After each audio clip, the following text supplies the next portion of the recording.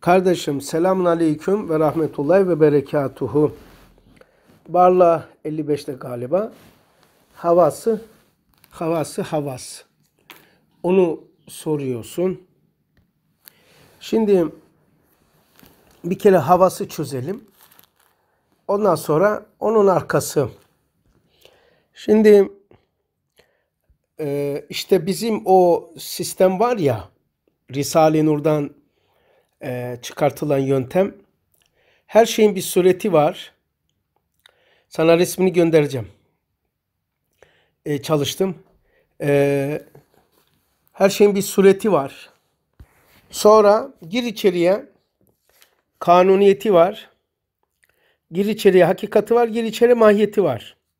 Yani soğanın mertebeleri gibi. Onun için e, Kur'an'da olsun, Risale-i Nur'da olsun, insanların konuşmalarında olsun, e, bu mertebeler, bu şeyler bilinmese birbirine karışabiliyor. Hele kavramlarda kargaşa olur. Mesela havas diyor ki havas lugatını söyleyeyim. Hasseler yani insandaki kazanımlar kazanmış e, Allah'ın esmasına bir veya birkaç esmasına sahip olan. E, sonra bu kim kim bunlar? Lugatını söylüyorum. Kur'ani sen zaten görürsün. Kur'an'ı ve manevi sırlara ve hususlara vakıf bulunan. Şimdi bu böyle diyor. Yani e, Allah'ın esmasına sahip olan, mazhar olan insanda hasse ortaya çıkar. Yani nedir o hasse? Ee, onu sayayım sana. Ne olur? Ee, sureti hassenin e, serbest bölgededir. Sen bunu tasdif et. Ee, yani ben geniş yapıyorum, zengin yapıyorum anlayışını ki ona uygun kelime yap. İnsanın kafasında, tasavvurunda e, Allah o verdiği e, e, esmanın bilgileri olur. Farklı farklı bilme mertebeleri olur.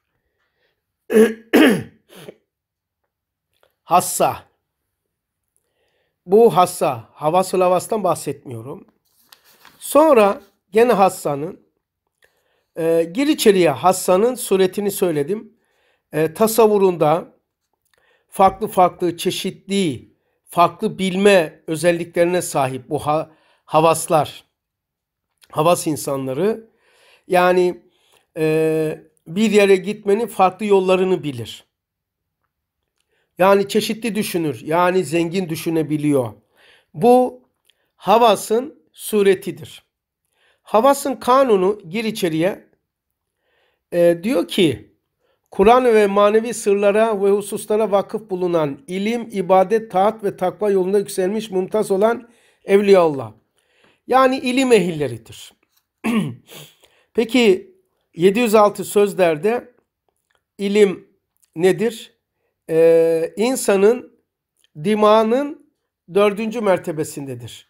Söylüyorum tahayyül, tasavvur, bir, tahayyül, gir içeri tasavvur, gir içeri takul, Gir içeriye tasdik. Tasdikte ilim olur. Ne demek o?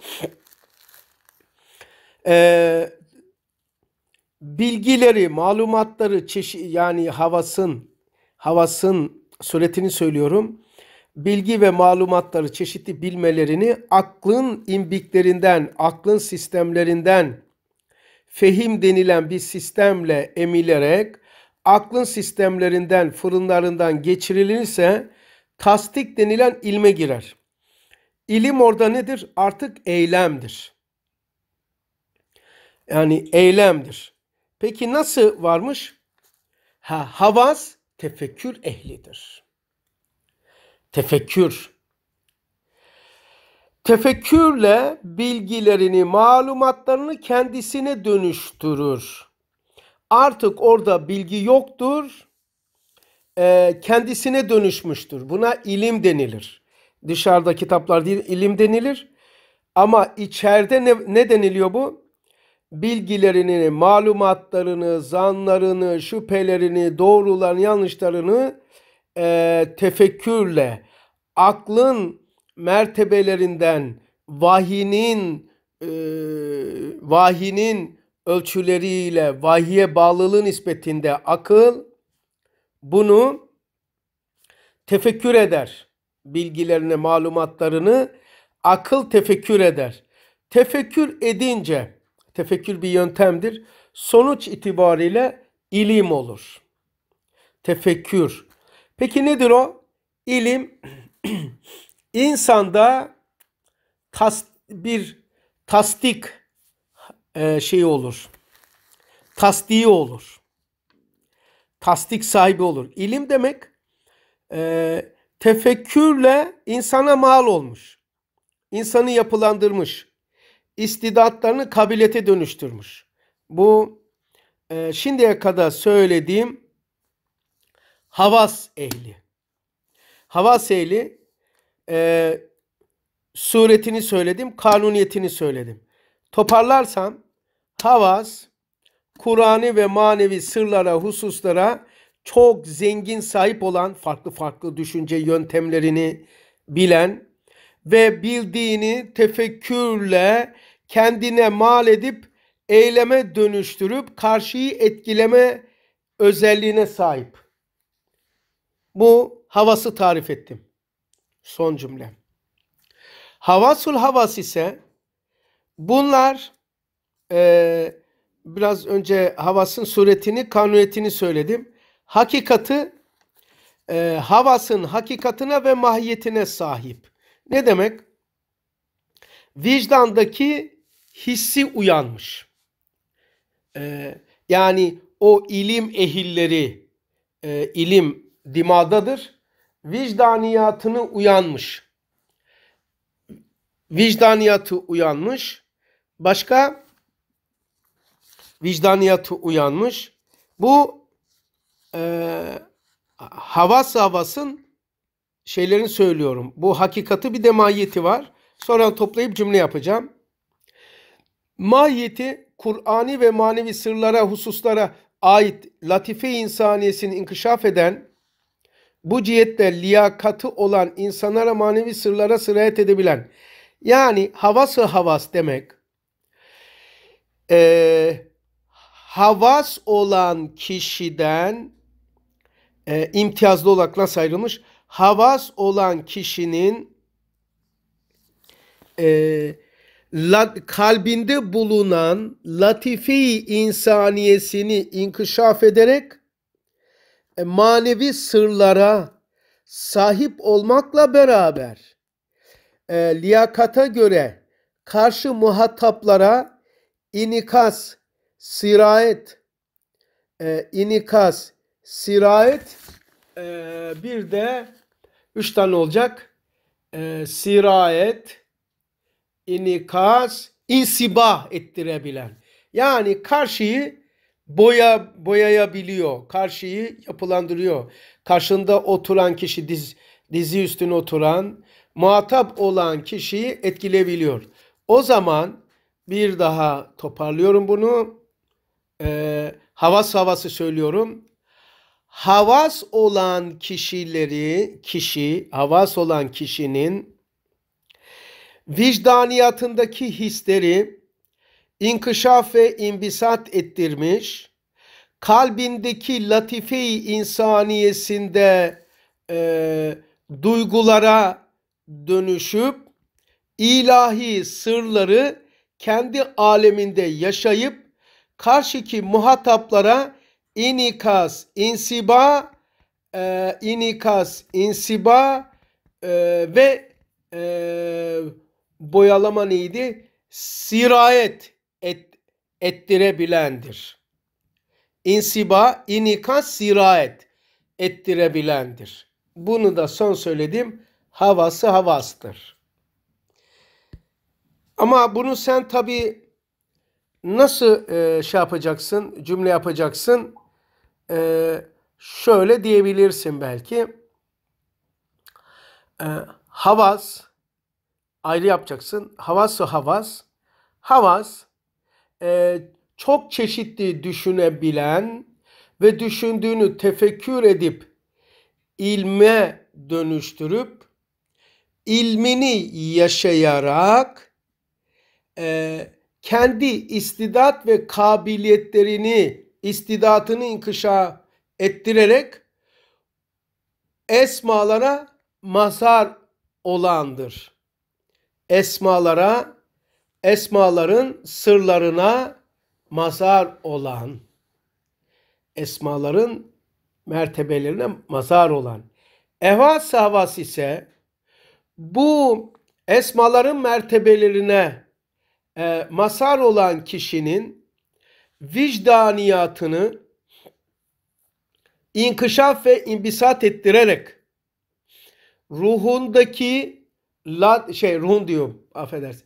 Kalbindeki latife-i insaniyesini e, inkışaf ettirip duygular duygu duygulara e, çevirip latife insaniyesinde duygulara dönüştürüp ilahi sırları kendi aleminde yaşayıp aynı zamanda karşıki tarafı değiştirme, inşa ve ihya etme adına onu karşıyı hidayetine vesile olman adına sirayet, inikas ve insiba ettirebilmeye sahip Allah'ın sırlarına sahip olan, hassasına sahip olan kişidir. Selamun Aleyküm.